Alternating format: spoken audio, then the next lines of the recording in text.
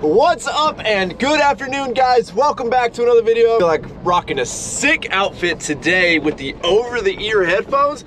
Only because my AirPods are dead. They're right, they're right there getting charged up on the NoCo jump box. So we're officially back from, uh, I guess, Christmas vacation. And we are ready to just jump back on and get some freaking work done. Gave all the roads around the property a good grading yesterday. Probably honestly one of my favorite things to do. Super relaxing and then when you see nice fresh dirt like that behind me, oh, it just looks so good. Now, unfortunately, while on vacation, uh, I got a little bit of the old kung flu. Really wasn't too bad, but kind of took the wind out of my sails for a day or two. And in an effort to just not be that guy and give it to everybody. I have not gone and picked up all the materials to start framing the shed. So I'll take you down and show you guys the foundation in a second, show you what the rain did to it. But first, we are making our way up to the pergola. I've got the pressure washer in the back, and I'm gonna see if we can pressure wash some of this old paint off. And we've got about a third of a tote of water here to do it with. James is currently borrowing the Kioti tractor, so I don't really have a way to take this tote down right now and fill it up with some more water if we need it, but we'll see how far a third of a tank gets us. All of these supports can come off today because we are obviously super rooted into the ground. This thing is solid and not going anywhere. I made this adapter piece to go from the two inch coming off of the tote to a three quarter inch hose line. Now remember, if you guys are purchasing PVC and you want to connect to a hose. If you look in the standard PVC section, you're going to see a three quarter inch uh, threaded coupling. That is usually not the right one. The thread pattern is different for a garden hose than it is for three quarter inch uh, to three quarter inches PVC fitting. So make sure sometimes at Home Depots, these pieces are in a separate section. So just be mindful when you purchase that because your garden hose will not go on properly and it'll leak like crazy if you don't get the right one. But this should thread right on to our tote. Now, hopefully, you know, we can draw enough water out of here, just gravity feeding it to the pressure washer. I think if I put the pressure washer over there, we are downhill just a little bit, and I got a really short hose, so we're not trying to, you know, run the water through a big old hose before it gets to the pressure washer.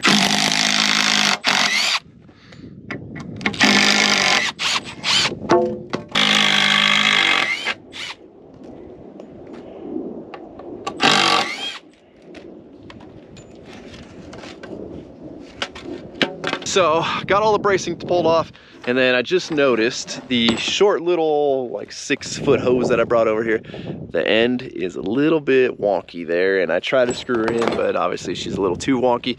So thankfully I had a little bit longer hose, not a super long hose, but uh, I hope it's not too long that we don't lose pressure, you know, trying to drain from here to there. I set the pressure washer so it is lower, so hopefully, you know, gravity will kind of do its thing and get it over to there. But let's fire this up. Let's see if we have water, see if this works. Look at that, look at that, a high pressure. Oh. Okay, maybe, maybe we don't have water. Maybe it's because the hose is uphill. That probably makes more sense. All right, we're just gonna, we're just gonna hope we have water to this thing. Let's fire her up. Choke action.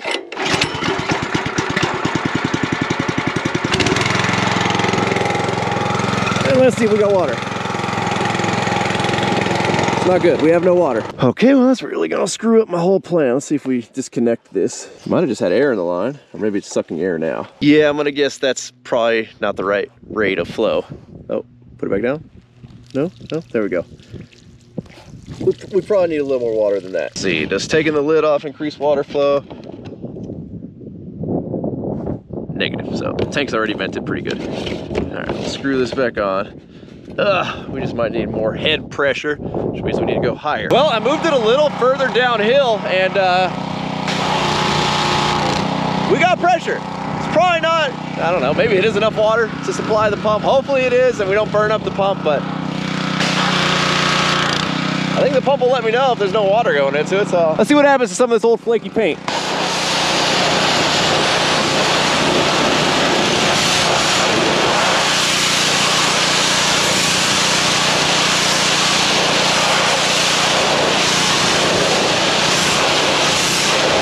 That actually worked really well. I should have started at the bottom and worked my way up so I'm not getting dripped on the whole time, but uh, all right, ready, set, go. Let's strip some paint.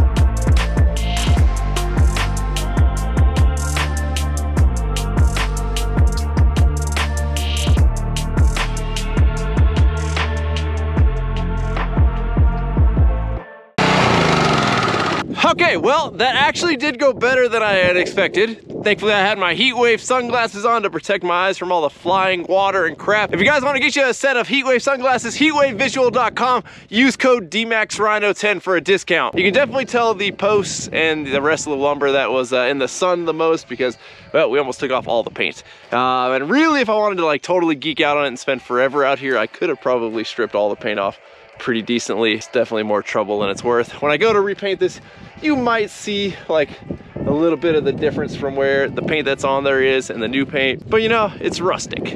I didn't want it as rustic as it was, but you know, it's rustic out here and it's for family and friends just to come hang out up here. So it's not that big of a deal, but it did need a little freshening up. We made it pretty much exactly to our water supply there. You can see we were probably, let's see, we were about right there with the water. Definitely used a good amount of water, that's for sure, but she's looking pretty solid. I mean, all the lumber is pretty good up underneath. I fixed that one split two by six that was right there. We do still need to grab a bunch of one by threes to kind of finish out the top section, but this is like not a super high priority thing. This was just, uh, I know we needed to bring it up here and get it assembled. As soon as we tore it down, otherwise, I had a feeling it was never gonna get put back up or we were gonna forget how to put it back up. So it's definitely just not something I really wanna pump a bunch of money into.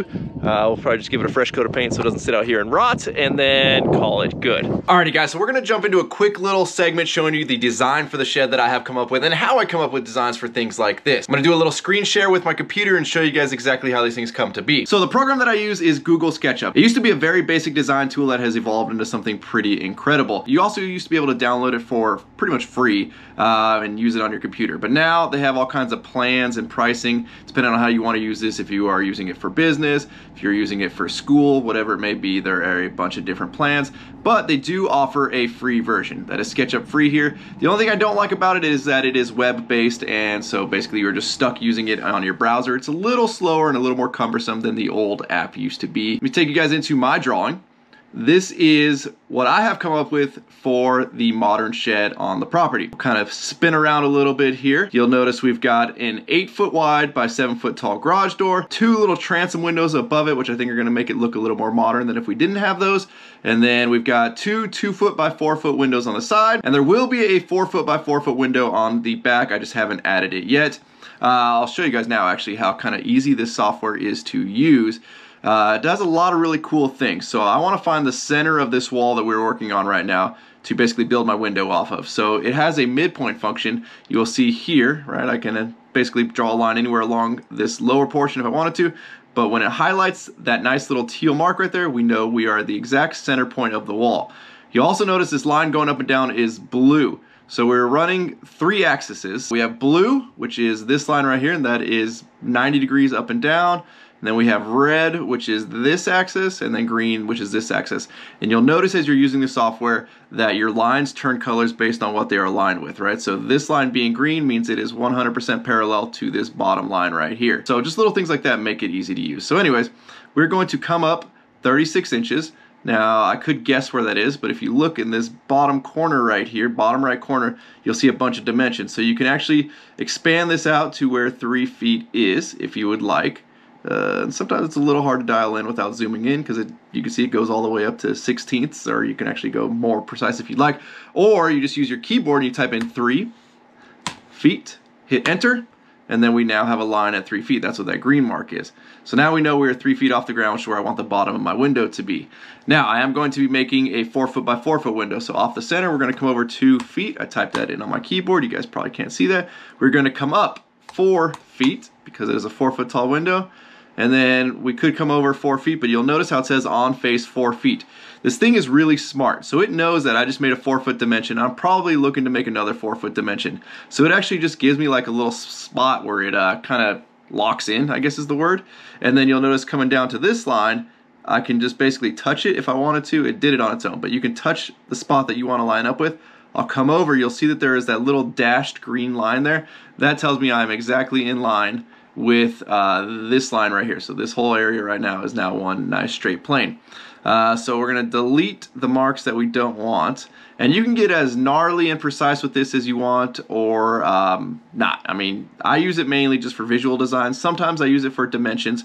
Uh, so let's see, if we're going to take like a standard window frame, we're going to pull that dimension and let's just go with like a two and a half inch frame around it. So this little tool right here takes any shape and you can basically just like mimic it, but um, like inside or outside, right? I don't know the exact word I'm looking for there, but uh, we do that for that. And then if we wanted to look cool, this tool right here will allow us to basically indent this in as if it were actually a window there.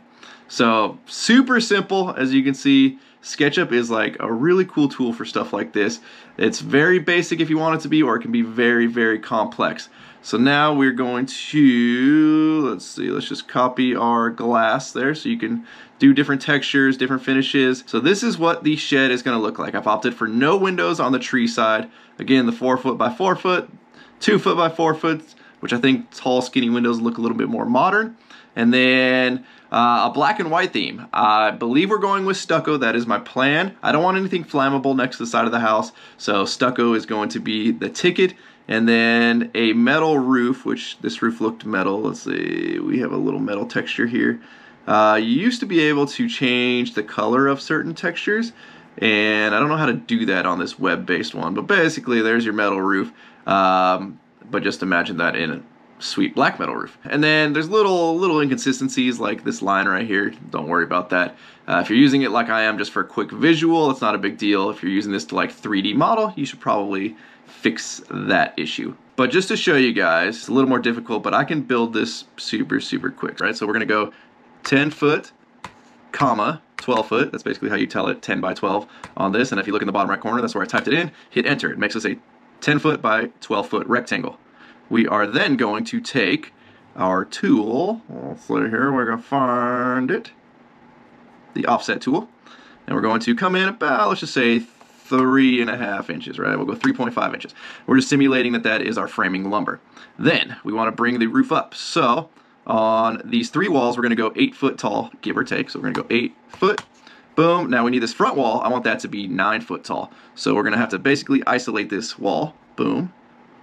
Boom. There we go. We have now made that its own entity. And we're going to take that up. Uh, come on, there we go. Uh, another foot. One foot. There we go. So now we are at nine feet in the front. Now here's where we got to get a little creative. If you're better at this than I am, uh, it's probably no big deal. But we're to make our roof section. So from there, we have a sloped roof, but I want it to stick out two feet. So if you see when it changes to purple, that means I'm on the same plane as this. So we're gonna come out and I'm just gonna type in my two feet. Again, if you look in the bottom right corner, you'll see where we come over, two feet. And then we're gonna do the same thing on this side. Let's connect to there. And then from there, it's a little bit of a weird angle, so bear with me. Again, without a mouse, it's a little hard to navigate around.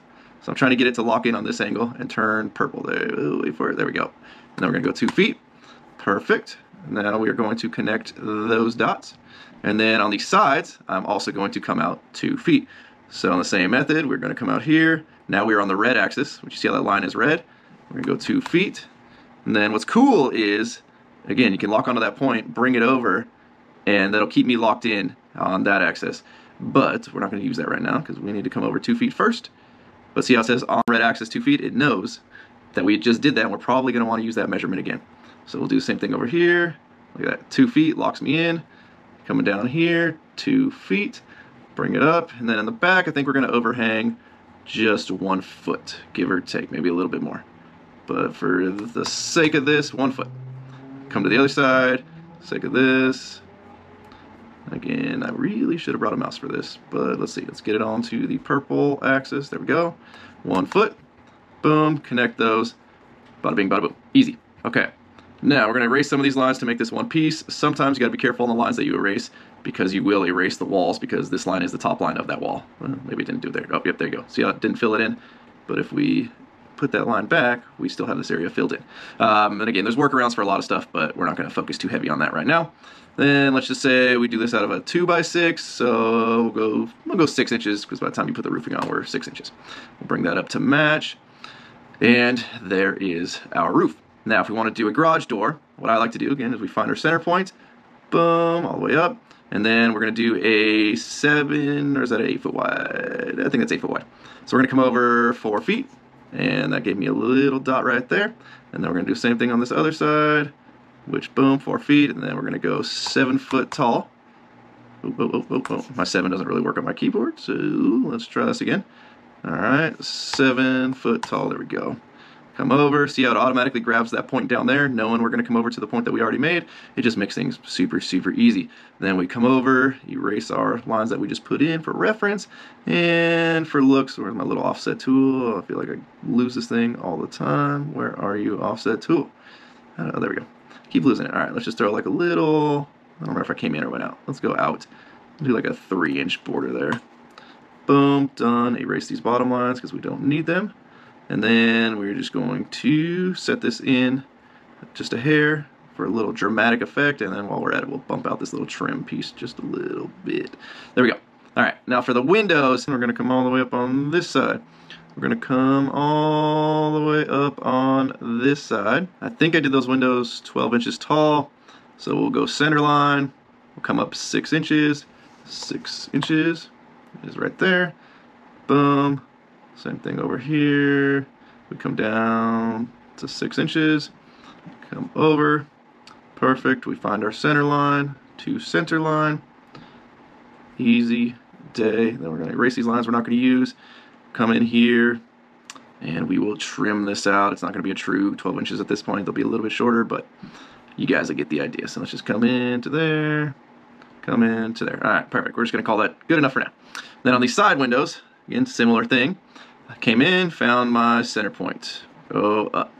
Then I came over to here, found my center point. Went up. Center point again. Now remember, this is the center point in between the new lines that I just put. Then from here, we're going to come up three feet for the bottom of our window. Bring it on over. Let's just connect this all the way through. Then we're going to come up four feet, because that is the height of our window, which is right there. Bring that all the way over. And then we are going to come over a foot and a foot, because these are going to be oops, these are going to be two foot wide windows. So there is our foot. And if you notice now, where is it at? There we go. It is already grabbing that we are working at a foot. So now all I have to do is just drag it over till it clicks over to a foot. You kind of see how that little point just like drops there. I don't know, attaches itself to it. Don't know what the proper term is, but all right, there we go. Super simple. We now have our windows with our window layout. We'll delete all of our little reference lines that we put on here. Actually, that top one we're probably gonna need. Oh, no, maybe not. All right, get rid of all of this easy day, easy day. Then we take our offset tool, now that we know where to find it. Let's just come out to 0.5 inches. Same on this side, and you don't have to type it in the second time, you can just touch the other one, it'll match perfectly as long as they are on the same plane. Now we're going to inset these a little bit, just to give it that look of an inset window, and similar to this offset, all I have to do is touch it on the surface I want to match, it'll match perfectly. Alright, so let's just give you guys a quick little overview. Then you can come in on the color side and the glass. You can select different types of glass look that you want. Uh, a little bit cloudy if you would like. Uh, there's just a bunch of different things you can do. You can select colors. You want to do your trim black like I did. Easy peasy. Do all the trim, every face. Um, I should have made those bump out a little bit, but you guys get the point. It's a super quick, easy way to draw something up and just get an idea of what you want. That's what I like about it is sometimes I have these ideas that I'm like, ah, I don't know if that's going to look quite right. And then I draw them up on SketchUp and I'm like, nah, that actually does work out pretty well. So super cool software. Again, gives you guys an idea. That is what we're going to be working with right there and what we're going to be building. And hopefully uh, it looks just as cool in person as it does, uh, you know, on SketchUp. So we are at Home Depot and we've got our load of lumber right there that we need to get into this trailer. This trailer is only 14 foot long and those are 16 footer 2x6s sitting on top right there. So hopefully we get a decent forklift operator that can get these into here. We'll just leave the doors open. We'll just, uh, and we'll strap them together. I do miss my deck over right now, but I left that with Jay with the single cab and uh, up in Sacramento. So we're just working with what we got here. But I think we'll do it as long as we got a good forklift operator that doesn't want to just try to unload these one by one. We don't want to do that. You should be able to swing this in. What I've seen them do here at Home Depot is if they only have one forklift and not two operators, they'll swing them in sideways, set part of the load here. Out here, they'll put the other part of the load on one of the flat carts and then they get behind it and they can push the whole thing in. This guy seemed a little nervous about doing that, but uh, we'll see if we can convince him.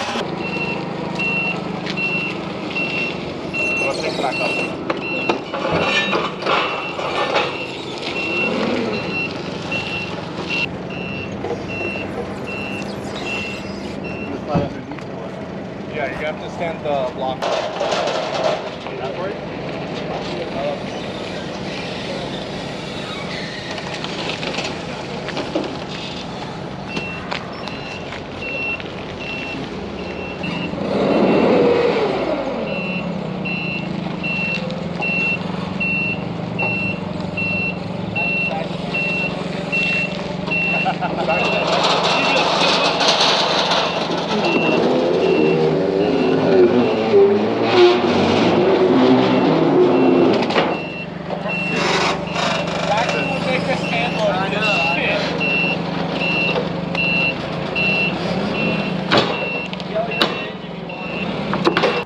Alrighty, well, the kid did pretty good. So we are good to go. We've got our doors ratchet strapped on there. Stay.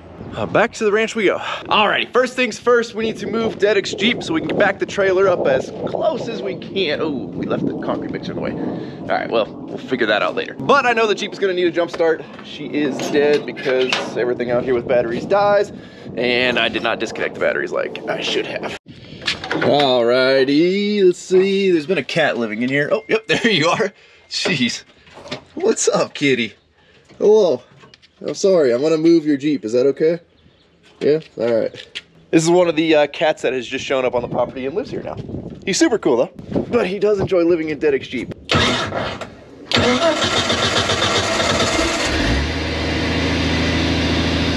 Turn the fans on. We'll just kind of fill the spot where the single cab lived with the Jeep for now.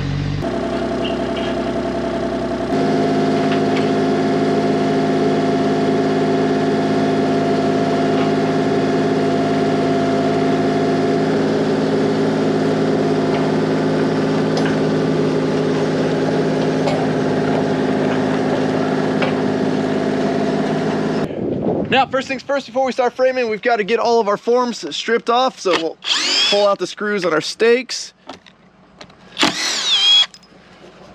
And as you guys know, I'm hard on all of my tools. The Harbor Freight Hercules Brushless Impact has been a freaking awesome tool. Don't take my word for it. Go try out one of these Hercules tools. I'm telling you guys. I'm a devoted Milwaukee fan, and the Hercules tools are on par, if not sometimes better than some of the Milwaukee tools that are out there. I'm not just saying that either. Fun fact, Harbor Freight does not pay influencers. And I just realized I didn't show you guys how the slab turned out after it got absolutely rained on like crazy. Uh, you can see it's got basically a sand finish on it. Just a, a very inconsistent sand finish. So if you guys see when we do decorative concrete, sand finish is one of my favorite finishes. We spray a material on top of it called Topcast. What that is, is it's a surface retardant. So it keeps that creamy smooth layer when we trowel it from uh, fully curing. And then the next day we come and we wash that off and it exposes the layer just below it.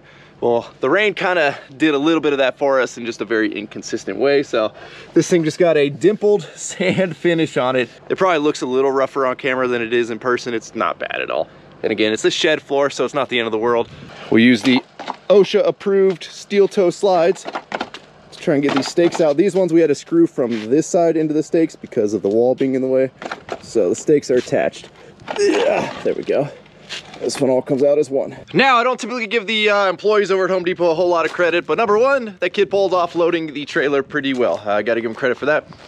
And number two, we actually have the boards we're gonna use first, our bottom plates, on top of the stack. And that's very nice because obviously we're gonna use them first. Now granted, these two by sixes, uh, we're not gonna use those. Those are actually for the roof, so those will be last, but uh, there's not that many. We'll just stack those off to the side. But let's pull out our bottom plates and let's get those marked out and cut. Ooh, that one's pretty rough. I will say, ordering at Home Depot has become like one of my new favorite things because I show up, it's already strapped. The only crappy thing is you don't get to sit there and cherry pick your lumber. So for the very important pieces, um, I'm probably gonna actually pick lumber separately.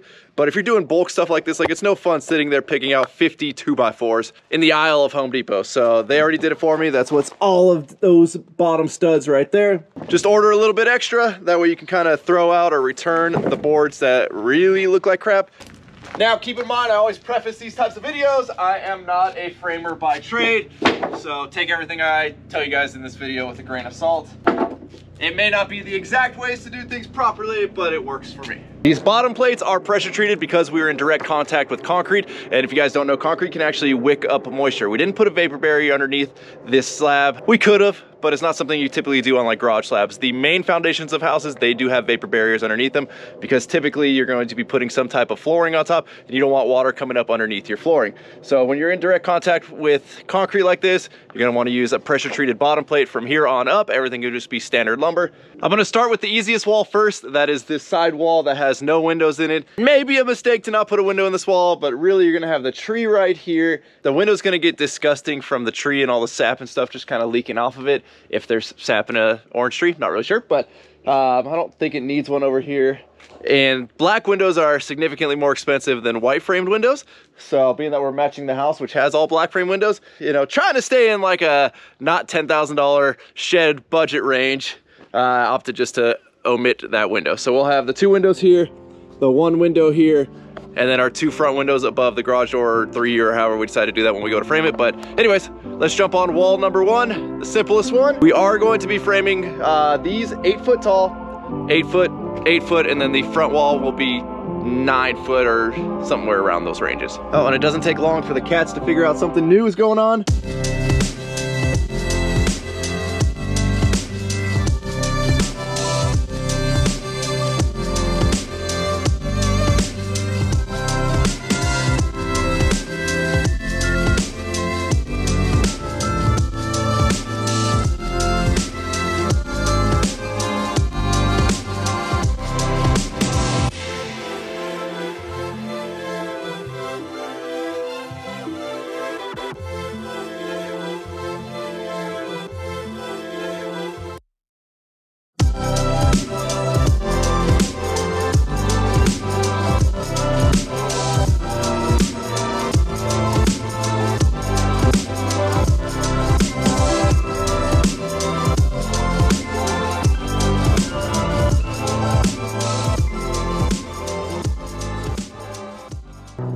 First wall is up and now we're starting to really see the height of this thing. So, so I'm using eight foot studs, which means by the time you have the bottom plate on there, we are an inch and a half taller than that. And then by the time you put our double up top plate, so they'll be about eight foot, four and a half, give or take, to where the, the lid is gonna be the ceiling inside.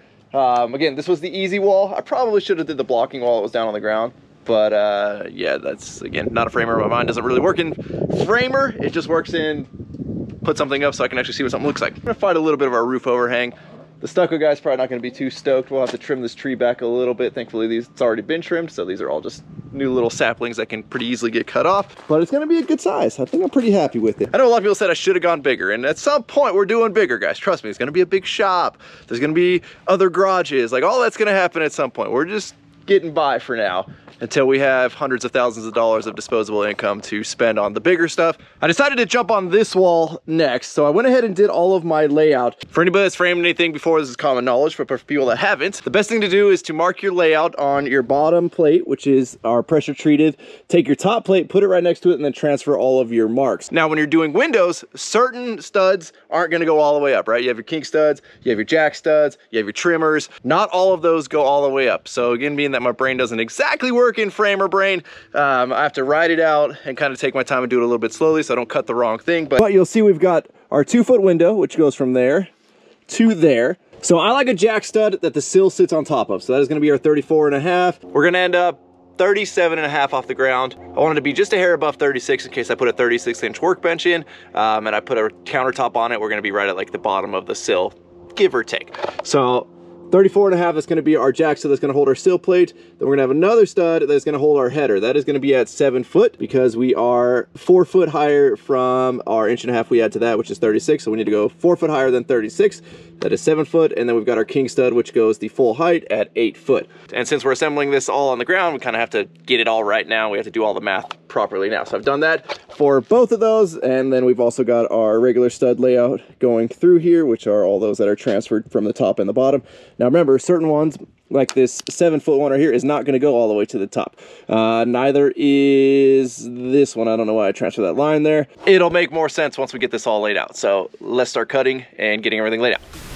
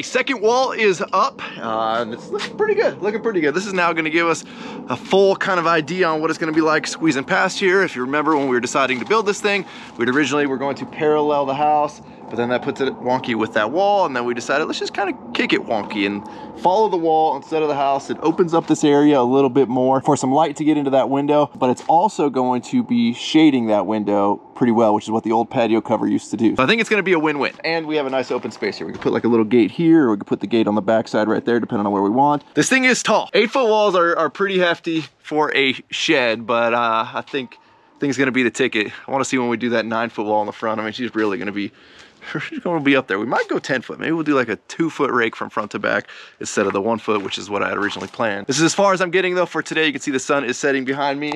I'm not the fastest framer in the world. Uh, I still got to do my least favorite part, which is all of the fire blocking all down there. So we will jump back on tomorrow. Well, last night we had a bunch of wind and rain come through. Um, I'm glad I threw this extra brace on the wall because this one would have gone right into that window. I did, however, somehow leave my nail gun out in the rain. And I'll be damned, y'all. Milwaukee you know, I'm a big fan. This thing got poured on all night and she still fires perfectly. That's a relief because I don't want to have to buy another one of these. They're not cheap. Today we're going to move on to the most complicated wall which is the garage door wall, the 10 foot, well, nine foot wall. I gotta do some finagling when we're building it because we're gonna have the two windows above the garage door. We need to transfer the weight of the roof onto the framing, not onto the windows. It's not gonna be a super heavy roof. Again, it's a metal roof, so I'm not too concerned about it, but most of the weight is gonna be on this front and this back wall, so we need to try to account for it.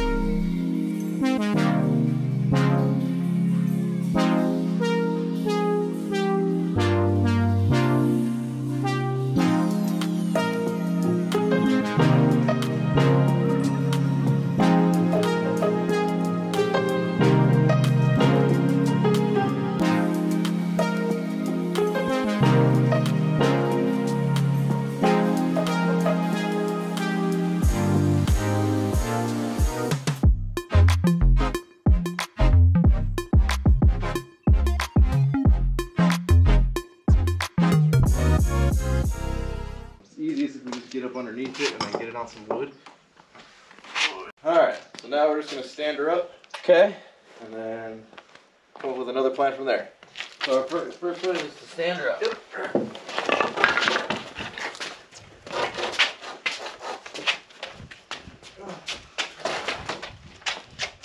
Alright. Yeah, I mean a little bit, huh? A little bit. A little bit, a little bit of progress at a time, come on. Because it's very awkward to try to hold this thing. Yeah. One, two, three. Right. Watch your leg. Where are we supposed to grip? Alright, hold on. All right. Hold it real quick.